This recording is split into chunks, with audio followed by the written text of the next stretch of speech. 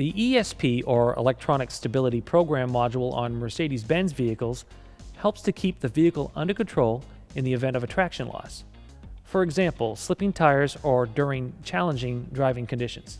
When replacing the ESP module, it will need to be properly commissioned, which includes SCN coding and adaptations. In this video, I'll show you how to do this on a 2017 W205 C-Class Mercedes-Benz. Before beginning, be sure to have a stable internet connection and connect a suitable vehicle power supply.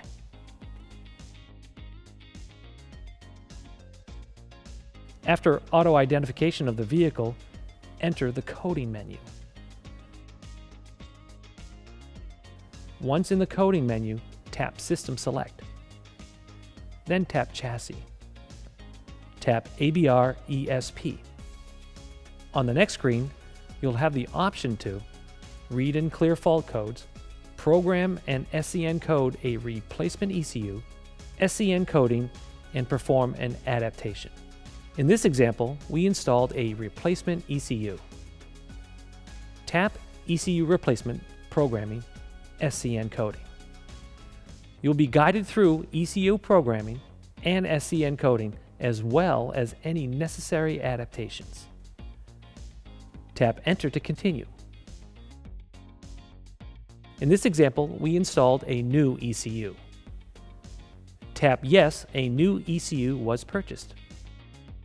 On the next screen, you will have multiple options. Select the option that fits your situation. In our example, the old ECU does exist, so we will select yes, the original ECU exists.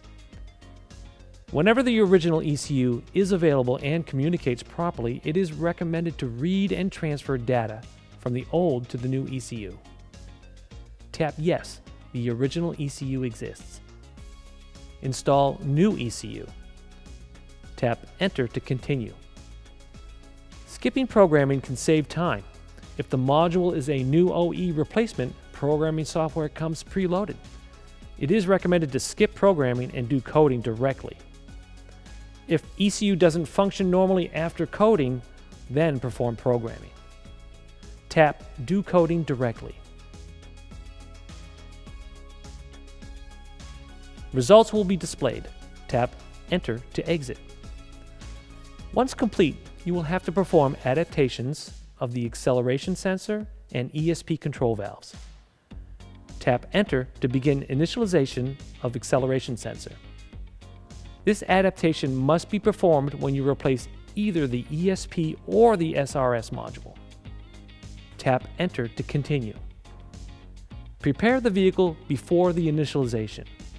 Make sure you meet the on-screen requirements. Tap Enter to start the initialization. You will receive a message once complete. Tap Enter to continue.